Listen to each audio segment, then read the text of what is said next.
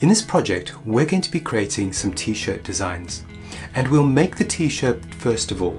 And we're going to use the mirroring option to draw half the t-shirt and then flip it over. So you only have to draw half, which is a really cool way of working because even if something looks a bit wobbly on one side, if it's mirrored to the other side, it looks like it actually should have been there.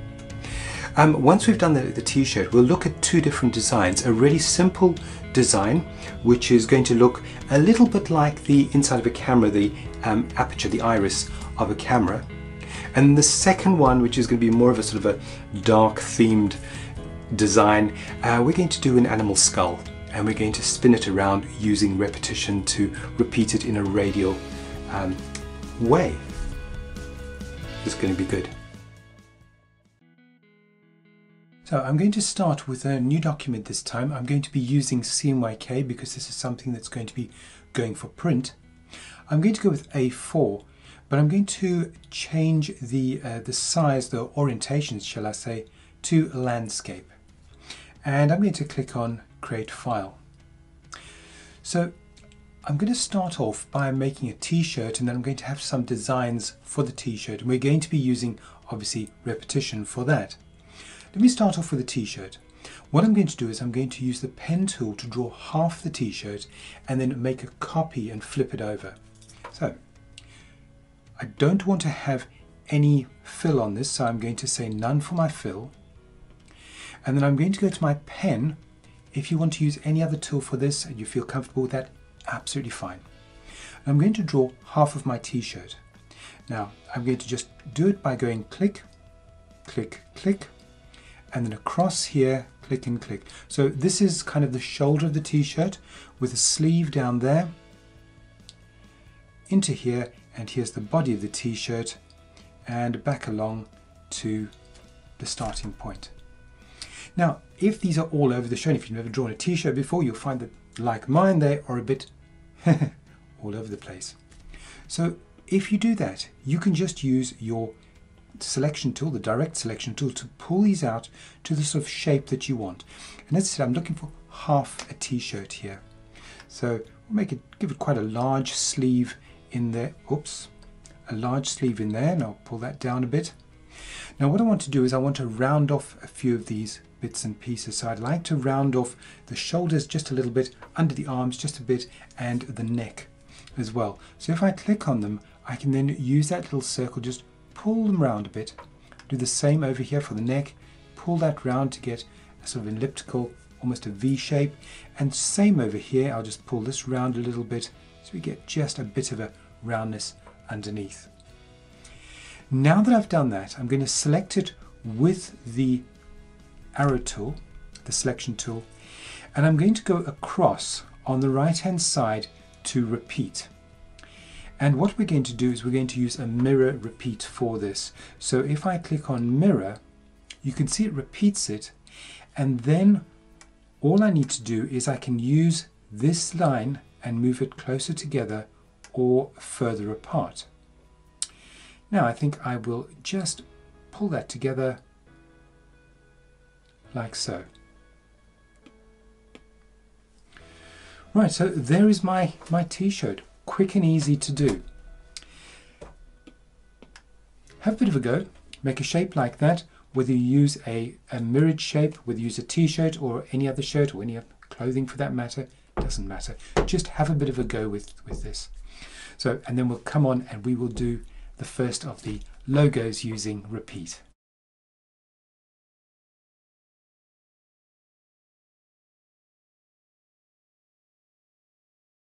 Now I don't want to touch this t-shirt by mistake and move it around so I'm going to select it I'm going to go along to my layers and you can see there it is as a mirror repeat so I'm just moving it into the right position and then I will lock it in there so I can't move it by mistake.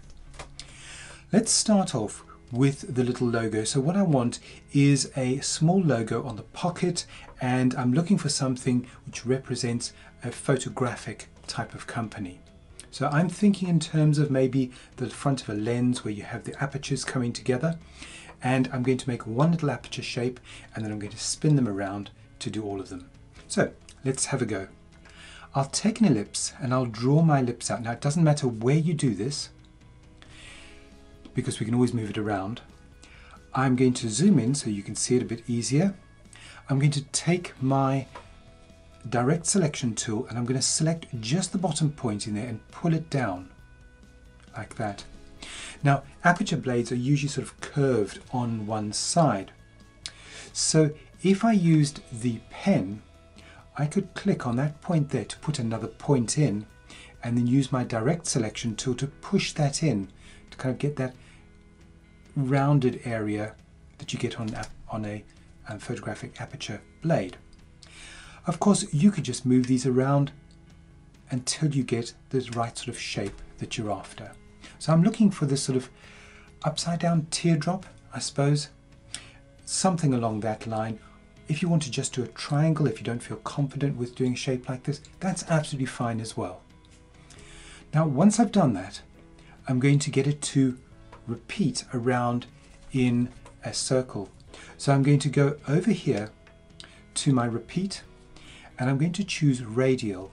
So I click on radial and you can see how it's given me this radial repeat around here.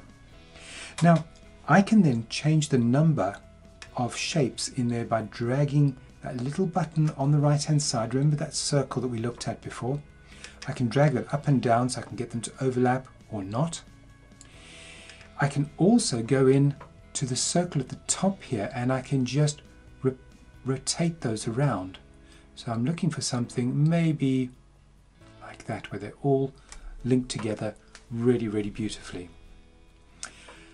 I feel happy with that shape and now I'm going to stop so you can have a bit of a go, experiment with those, just get some sort of shape going on with repeat so you get a feel for, for the repeat. Try it out.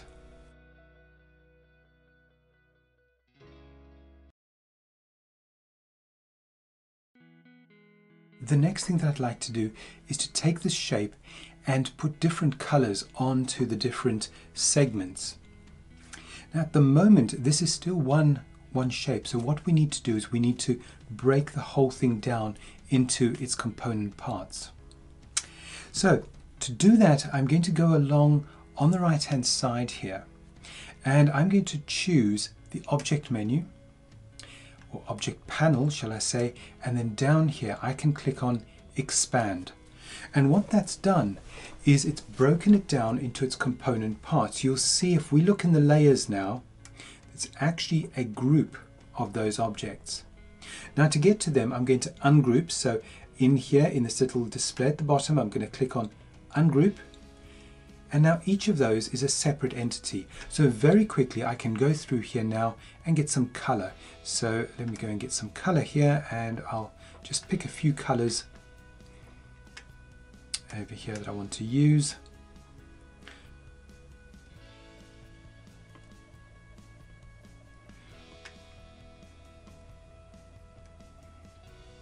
I'm not going with any particular color order, I'm just picking a few arbitrary colors in here. Once I've got all the colors in, I can have a think about it later on and see what I want to do with, the, with those colors there. Oh, I've got one of those, so let's go with an orange. And then I'm going to take those and I'm also going to remove the stroke from them to just leave that interesting shape.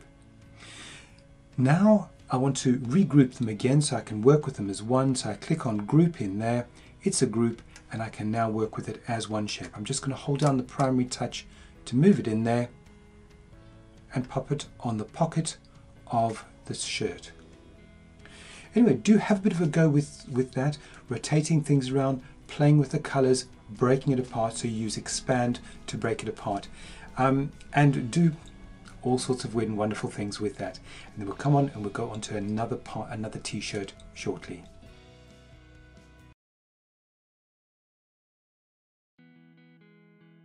So I hope you're ready for the next one. If you found that one easy, the next one's going to be so very similar, but with a few extra bits involved. And we're going to take this onto a whole new dark level. Not just because we're going to do a dark t-shirt, but the subject matter is going to be a skull. Anyway, have a look at this. What I'm going to do is I'm going to copy this whole artboard. The thing is, I don't want the little colourful pattern. I only want the t-shirt and the artboard. So I'm going to go up to my layers. I'm going to lock the group with the colourful um, pattern on it and I'm going to unlock the t-shirt. Now having done that, if I zoom out like so, I can go along to my artboard tool. So these are all the artboard presets. I'm going to click underneath the artboard on the little plus and you can see it's made a copy of the artboard plus anything that wasn't locked on it. So once again on this artboard here I'm going to use my selection tool. I'm going to select the t-shirt and I'm going to change it so it's filled with black and then over here I'm going to lock it down so I can't touch it by mistake and we'll start working on that very very shortly so get another t-shirt in and we'll um, we'll continue on in a minute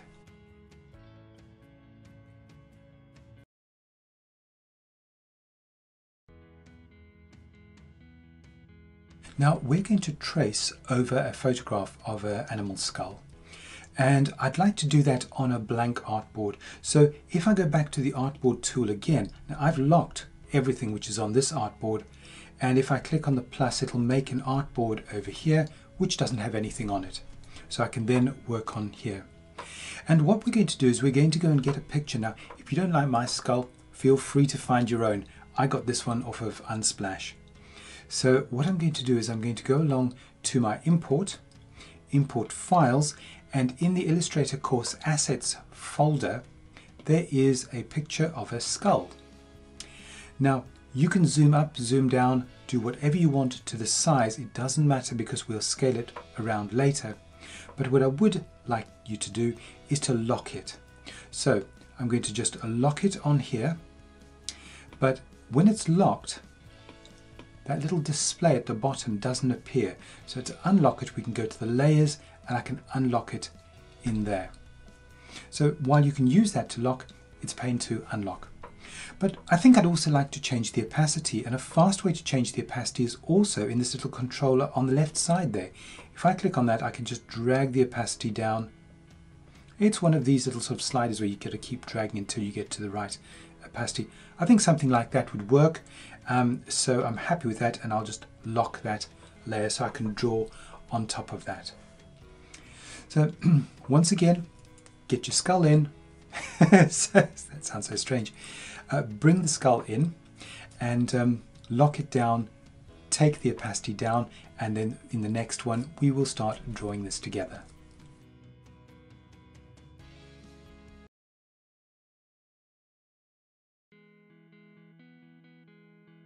So let's get drawing the skull. I'm going to use the pencil for, for this to try and draw it and I'm going to just zoom in. Now, as you probably guessed, what I'm going to do is only draw half the skull and then I'm going to mirror it across because it'll be a lot easier that way and this is a fairly good um, symmetrical object. It's not quite symmetrical but we might have to juggle it a bit. So let me get my pencil. I'm going to start off with the thing that's right at the back, which is actually the, the skull itself rather than the horns. So I'm going to go along and I'm going to find a color, maybe a sort of a, a brownish yellow color, something along that line. Maybe make it a bit more yellow in there. It honestly doesn't matter what sort of color you're choosing. Right, I've got something that I like. Um, but I'm going to just flick over to stroke and get rid of my fill for now. So I can then start drawing and I'm just going to draw up over here around, kind of kind of follow the outline very roughly over here, right the way down to the bottom in there. So that's sort of the first part of my skull, it's half the skull. And you'll see now if I go over to fillet, that's given me the first half of that skull. So I'm going to deselect that. Now let me go and do the horn. So once again, I'm going to go along and get the pencil, find an appropriate color. I'm just going to go with a much darker version of that color, maybe warm it up a little bit with some magenta in there, and then draw the horn in here. Now that's getting in the way, so I'll move that. So I'm just going to draw it from here roughly around.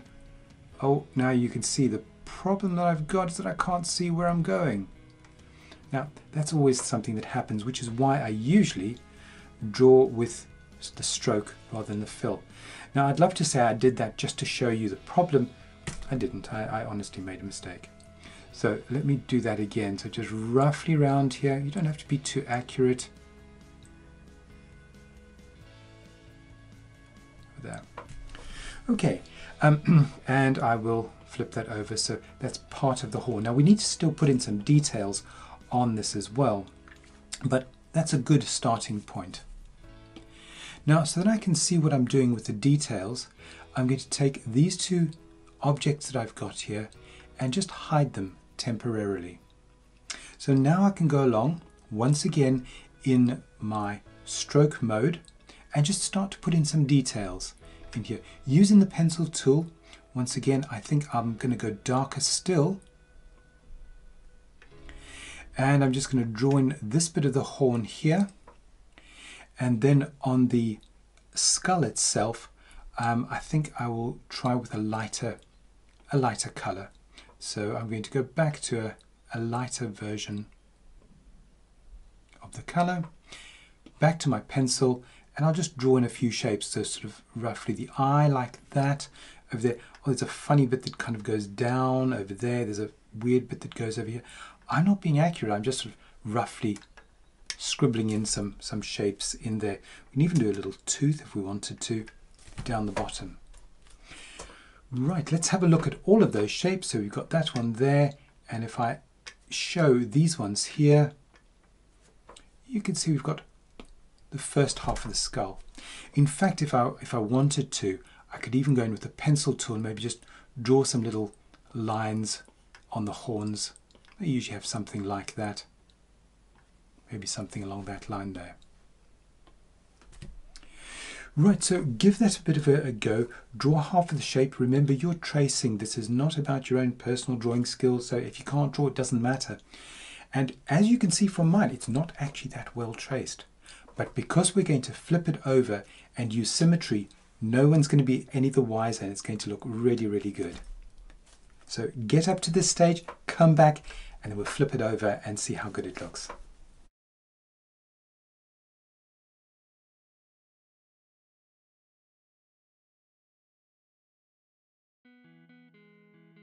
Now, looking at my design here, I'm thinking that it'd be really cool if I could just change the color of some of these uh, lines very quickly. And I'm going to do that. I'm going to select, using the selection tool, all the lines up here, but I don't want to select the skull itself. So I'm going to hold down my primary touch and click on the skull. So now I've just got the lines selected. And then it means that I can go in here and I can change them all at the same time just have a look and see what works for for me. And I'm thinking something maybe just slightly darker than the color that I've got there.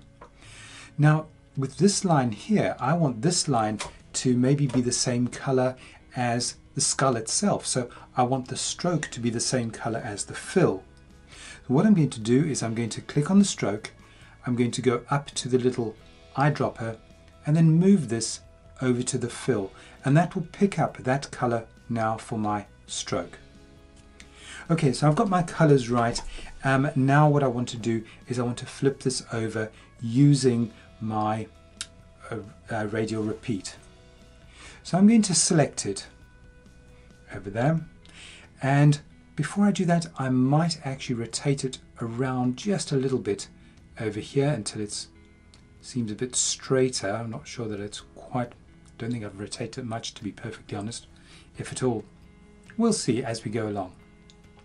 So I'm going to take that, but before I do use the, the mirror, I'm going to click on the little button right at the bottom, which is the grouping, and I'm going to group it all together. So now I can just pick it up very quickly and move it as I need. Now, I have mentioned this before and I'll continue to mention it. I'm going to rotate it but this time I'm going to zoom out a bit. And when I rotate, you see if I'm right over here, it's very difficult to rotate perfectly around. But if I keep holding and move my cursor right to the top, Then I've got a very, very big lever so I can get just the tiniest bit of rotation in there. So I'm just going to go through something like that. Okay, now I'm going to mirror that across. So I'm going to select it. I can just click anywhere because it's grouped together. Go over to my repeat and I'm going to choose mirror. Maybe I didn't get that quite right when I was rotating it around, but that doesn't matter because at any time I can still go to that shape and I can still rotate it in there and the mirror will quite happily follow suit. If you need to move things closer together, just use this mirror to pull bits and pieces in or out. Right, there's my, my shape. It's pretty much ready to go.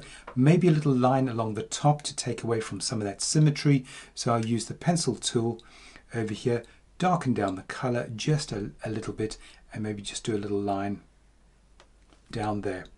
Maybe that's a bit too dark. We'll adjust it a bit. Like so. Anyway, do have a go um, and watch that mirror and then you can move the mirror around you can move the individual objects within the mirror as well. Try it out.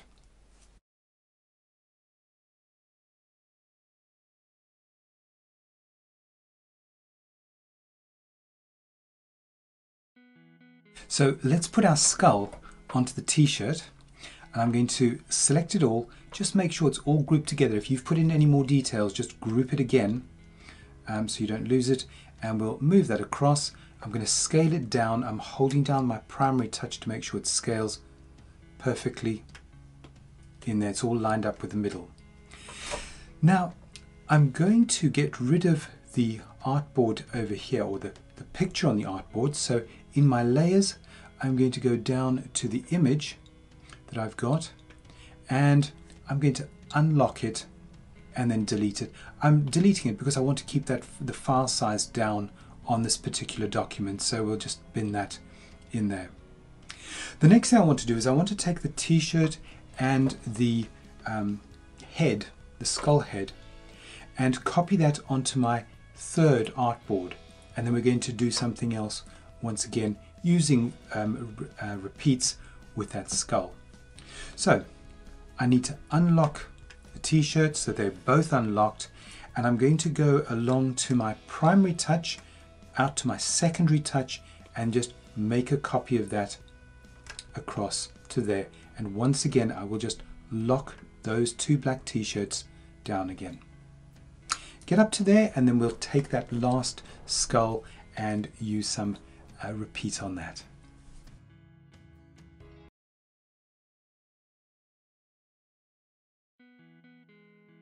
So here's my skull on that the second artboard.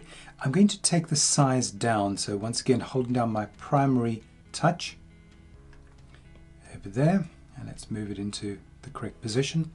And then I'm going to go to repeat, and I'm going to use a radial repeat. And you see this really cool pattern that we get in there. Now, once again, I can change the number of repeats in there. And we can go in here and we can angle them around if we need. But don't forget, you can also go to your properties and down the bottom, we can change the number of repeats in there as well. So I can click in here and adjust how many there are that way as well. And also, if I have got them overlapping, which way are they overlapping? So if I increase the number here, you can see the horns are kind of going to the, the left side and I could get them to repeat the other way.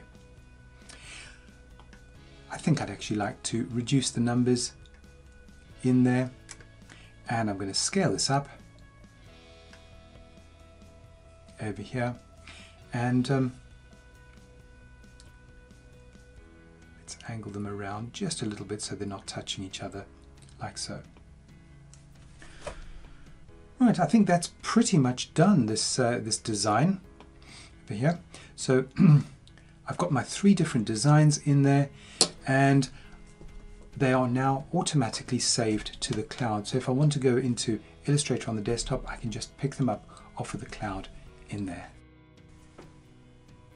I hope you enjoyed the course. Please like and subscribe for more of the same. If you'd like a free month of Skillshare and my courses are on Skillshare, just look at the description below. See you in the next one.